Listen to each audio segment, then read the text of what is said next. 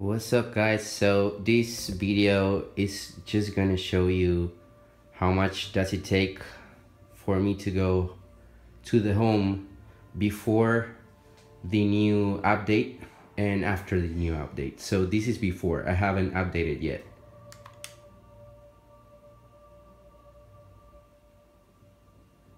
This is actually after turning the Xbox on, so it takes a little bit longer than usual, I guess.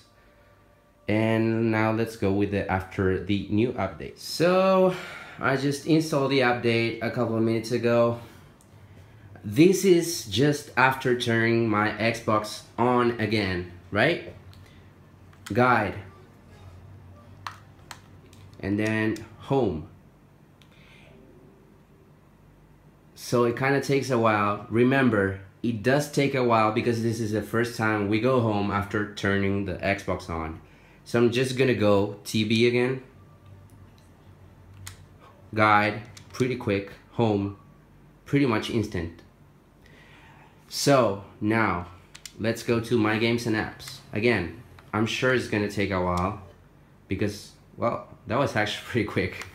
Um, yeah, so my games and apps uh, goes pretty quick. Home goes pretty quick. Uh, let's see. Let's go to clubs. This is one of my clubs. It does take a while. Remember, this is the first time I'm I'm actually opening the application, right? so it's gonna go home, and then I'm gonna go to the club and it goes pretty pretty quick after you open it. Um so guys i guess that's pretty much it.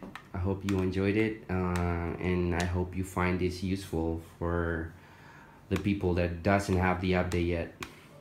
And enjoy. Peace